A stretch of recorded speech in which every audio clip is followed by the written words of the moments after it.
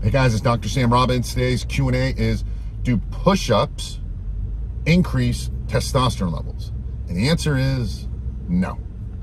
All right. And even if they did, it's just for a little bit. It doesn't mean anything. All right. There's nothing wrong with doing push-ups.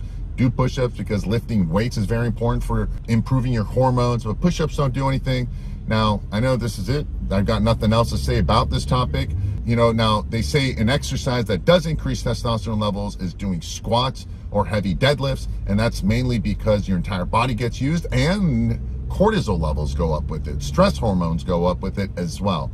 So at the end of the day, it doesn't really matter. What matters is you do exercise. You lift weights, some kind of muscular work, whether it's your own body weight, such as push-ups and pull-ups, um, or machines or cables or whatever it is. So exercise, that will improve your hormones. I've got tons of videos underneath this um, articles about this topic, increasing your testosterone levels, which exercise, which diet, which foods, which supplements. Take advantage. It's all yours for free. As always, thanks for watching. Thanks for listening. Wishing you a very happy and healthy day. And subscribe, guys. If you're not subscribing, you keep asking me the same questions. That means you're not watching my videos.